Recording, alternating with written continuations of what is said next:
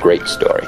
Compelling and. Mr. President, was the rocket strike on Kiev a deliberate provocation to the G7? Don't we were just trying to bit these guys. Whaley has landed several of those inside low kicks.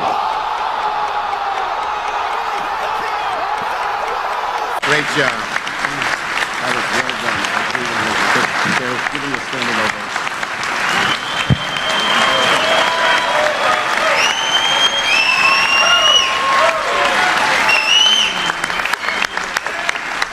time I have no idea what the f- I'm talking about.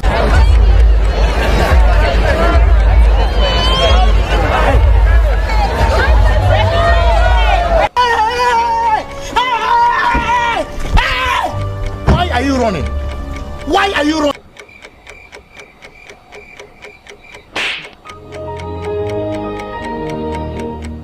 Yes, sir. Down the ramp. And we have people lined up on the left over here. Uh, some union leaders and workers. Hey, guys and ladies.